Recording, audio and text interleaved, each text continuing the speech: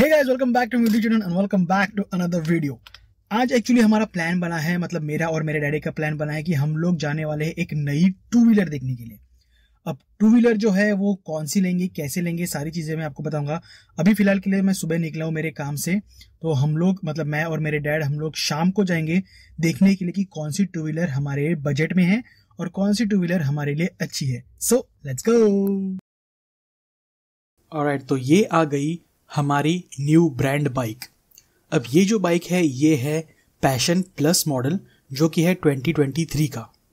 अब हम लोग ना गाड़ी लेने के हिसाब से नहीं गए थे, सिर्फ़ देखने के हिसाब से गए थे, और डैडी ने, डैडी को ये जो बाइक है वो पसंद आ गई तो उन्होंने ऑन दी स्पॉट ही परचेज कर ली।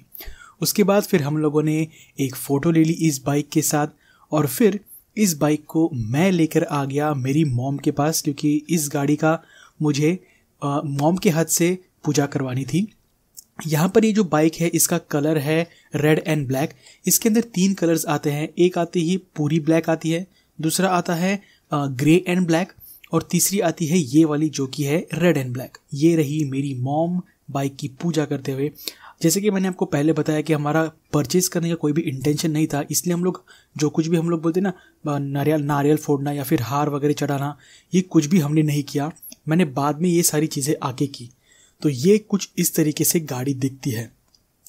इस गाड़ी की अगर मैं स्पेसिफिकली बात करूँ तो ये 2023 वाला मॉडल है पैशन प्लस वाला। आप यहाँ पर देख सकते हो पैशन प्लस लिखा हुआ है। साथ ही साथ ये आई स्मार्ट वेरिएंट वाली गाड़ी है, जिसके अंदर आपको आई स्मार्ट अलग से फीचर मिल जाता है, और ये बी एस सिक्स वाला मॉडल है तो ये फ्यूल इंजेक्टर वाला है कार्बोरेटर वाला नहीं। इसके बाद अगर मैं इंस्ट्रूमेंटल क्लस्टर की बात करूँ, पहला न्यूट्रल का लाइट आता है, उसके बाद ऊपर के साइड आप देखोगे तो आपको इंडिकेटर्स के लाइट मिल जाते हैं। साथ ही साथ उन दोनों के बीच में आपको मिल जाता है अपर डिपर वाला लाइट ठीक है? अभी तो मैंने गाड़ी स्टार्ट नहीं किया, इसलिए नहीं दिखेगा। यहाँ पर आपको एक छोटा सा टीएफटी डिस्प्ले मिल जाता है, जिसके अंदर आपको फ्यूल गेज ट्रिप और किलोमीटर्स दिख जाते हैं। यहाँ पर कॉर्नर में आपको एक आई स्मार्ट का बटन मिलता है जो कि जिससे कि आप ऑन ऑफ़ कर सकते हो। अब इसका जो यूज़ है ना, ये ट्रैफ़िक में होता है और इसका यूज़ एग्जैक्टली किस चीज़ के लिए होता है, वो मैं आपको आगे बताऊँगा। साथ ही साथ ऊपर की तरफ़ अगर आप देखोगे तो आपको मिल जाता है चेक इंजिन लाइट वाला बटन और साथ ही साथ उसके साइड में आपको मिल जाता है साइड स्टैंड का बटन तो इसके बाद मैं आपको दिखाता हूँ कि ये आई स्मार्ट का क्या फीचर है। यहाँ पर अगर आप लोग देखोगे तो ये आई स्मार्ट अभी फ़िलहाल के लिए मैंने ऑफ़ रखा है। अभी अगर मैं इसे वापस से ऑन कर दूँ तो यहाँ पे दिख से, देख सकते हो कि ऑन हो गया है ऑफ़ हो गया है। अभी मैंने इसे ऑन रखा हुआ है ताकि मैं आपको दिखा सकूँ इसका स्पेशल फीचर यहाँ पर मैंने गाड़ी को ऑन कर दिया है, आप देख सकते हो क्लियरली तो अभी क्या होगा, पाँच सेकंड बाद ना गाड़ी अपने आप बंद हो जाएगी, जो कि आपकी गाड़ी न्यूट्रल में होनी चाहिए। मोस्टली हम लोग ट्रैफ़िक में गाड़ी को न्यूट्रल पे लगते हैं, ठीक है? न्यूट्रल में जैसे ही गाड़ी रहेगी, अपने आप गाड़ी ऑफ़ हो जाएगी। अब ऑफ़ कैसे होगी, आपको सारी चीज़ें मैं बताता हूँ। मैंने गाड़ी स्टार्ट करके रखी हुई है, आप साउंड भी सुन सकते हो।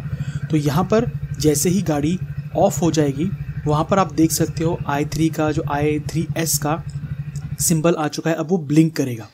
जैसे ही ब्लिंक करेगा, मैं, मुझे कुछ भी नहीं करना है, सिर्फ़ और सिर्फ़ क्लच दबाना है एक बार, ठीक है? मैं क्लच दबाऊँगा और गाड़ी अपने आप स्टार्ट हो जाएगी। तो ये फीचर ना आपको ट्रैफ़िक में बहुत ज़्यादा यूज़फुल होता है और बहुत ही अच्छा है पेट्रोल की बचत करने के लिए। तो गैस आप लोगों ने बाइक देख ली। प्लीज़ कमेंट सेक्शन में कमेंट करके बता देना कि कैसी लगी आप लोगों को। अब इस गाड़ी को लेने का मेन इंटेंशन ये था कि ये बाइक मेरे लिए भी सूटेबल हो और मेरे डैड के लिए भी सूटेबल हो। मतलब उन्हें चाहे तो वो लेके चले जाएँगे, मुझे चाहिए तो मैं लेके जाऊँगा। अगर मैं मेरे हिसाब से बाइक लेता हेवी वेट वाली तो वो डैड को सूटेबल नहीं होती। सर सर, ये जो बाइक है, ये सिटी के लिए और हाईवे के लिए, दोनों के लिए बहुत ही ज़्यादा सूटेबल है। सो आई होप आपको वीडियो अच्छी लगी होगी। अगर आपको वीडियो अच्छी लगी हो लाइक कीजिए, बहुत सब्सक्राइब कीजिए। Hope you see my next video till then take care bye